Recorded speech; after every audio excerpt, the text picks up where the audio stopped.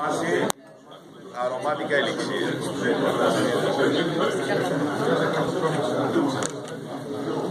Για όσους φαίνεται παράξενο η χρήση ελαιολάδου στο, στα κοκτέιλ, να σας ε, θυμίσω ότι πριν ε, λιγότερο από ένα χρόνο ε, ένα άλλο κοκτέιλ που δημιούργησα, ε, στο οποίο χρησιμοποίησα πάκι, κάτι που ήταν πολύ παράξενο πάλι για πολύ κόσμο, ε, ήταν ένα κοκτέιλ που συζητήθηκε πάρα, πάρα πολύ σε όλη την μπαρτενική χώρα, να το πω έτσι, και έλαβε τέταρτη θέση στο, στο τελικό του Παγκόσμιου Διαγωνισμού Αβάνα Κλουμπ στην Ελλάδα, τέταρτη θέση.